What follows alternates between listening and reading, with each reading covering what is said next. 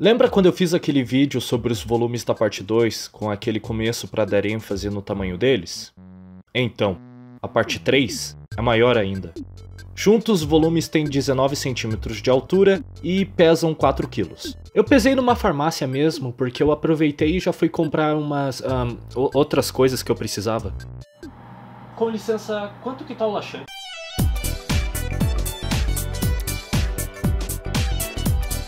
Quando a Panini começou a lançar o mangá de JoJo no Brasil, eu achei que seria legal de fazer uma análise deles. Eu pensei em falar sobre a capa, a tradução, o preço, essas coisas que focam mais na composição do volume do que na história dele. Só que o YouTube inteiro teve a mesma ideia. Porém, a maioria das pessoas só falou sobre o primeiro volume da parte 1, e eu não quis fazer isso.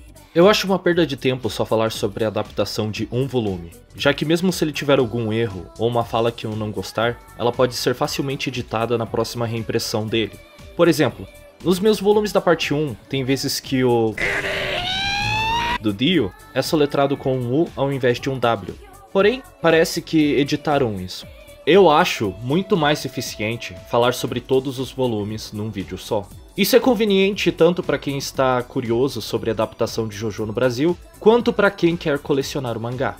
Eu comprei a maioria dos volumes no site oficial da Panini. Alguns com desconto, outros não. Ano passado teve essa promoção, onde você ganhava um desconto se colocasse o nome de um herói no campo de cupom. Os códigos eram nomes como Batman, Superman, etc. E no último Halloween eles fizeram uma promoção com nomes de vilões. Já que a promoção coincidiu com o lançamento do volume 7, eu tentei colocar o nome do Dio como cupom, só que não deu certo. E daí eu tentei Lex Luthor e funcionou. De qualquer maneira, eu gostei do que a equipe de tradução e adaptação fez nesses volumes. Os nomes dos stands e personagens foram mantidos, graças a Deus, e eu até que achar engraçado se eles escolhessem usar Den of Steel, mas ainda bem que deixaram como Steely Dan.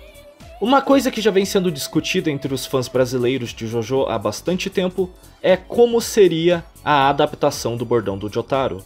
Eu já vi várias sugestões, como Kisako, Putz e até mesmo já vi sugerirem traduzir como Af, véi. Isso é uma coisa que não importa qual seja a tradução escolhida, alguém sempre vai acabar descontente com o resultado. E dessa vez a tradução foi... Não fode. Eu achei que a fala encaixa com o Jotaro porque ele é bem reinento mesmo. Não ligo de ser um palavrão porque Jojo não é muito family friend. Eu também notei que tem alguns erros de tradução e digitação em vários volumes. No primeiro volume, o Avidal fala que morreu por causa do stand dele. No volume 5, durante a luta contra a High Priestess, o Jotaro fala ai ai sir, e não colocaram a tradução da fala na cena e nem mesmo no glossário. Eu sei que isso é tipo sim senhor, mas mesmo assim eles deviam ter colocado a tradução no glossário caso o leitor não saiba. No volume 9, o Joseph diz cantou ao invés de contou. E no volume 4 tem uma parte que separaram a palavra depois.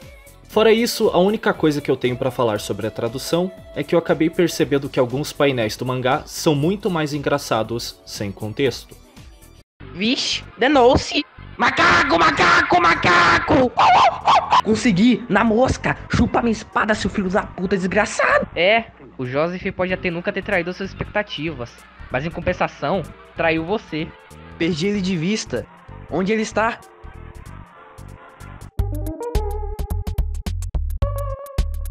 Ah, e eu quase esqueci de mencionar que o volume 9 veio com um cartãozinho que talvez seja o cronograma de lançamento da parte 4, que já está em pré-venda no site da Panini.